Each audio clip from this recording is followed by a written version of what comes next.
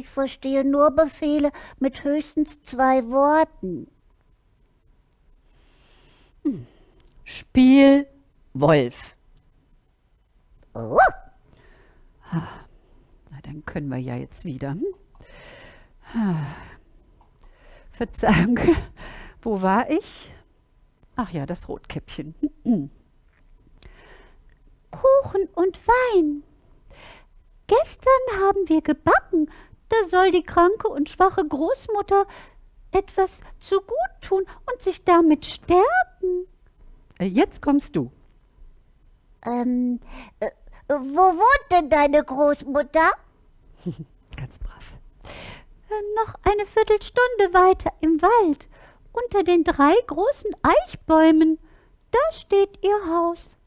Unten sind die Nusshecken, das wirst du ja wissen, sagte Rotkäppchen. Der Wolf dachte bei sich. Der Wolf dachte bei sich. Äh, ja, was dachte denn der Wolf bei sich? Ach, Caruso. Wir haben die ganze Nacht diesen Text geprobt. Den müsstest, doch jetzt, den müsstest du jetzt eigentlich kennen. Hast du den jetzt etwa schon wieder vergessen? Ja. Hm. Versuch dich zu erinnern. Hm? Das junge, zarte Ding, ja, das junge, zarte Ding, das wird ein fetter Bissen. Ach ja, sehr schön. Weiter? Ähm, ähm, äh, Versuch dich zu erinnern. ähm, Der wird noch besser schmecken als die.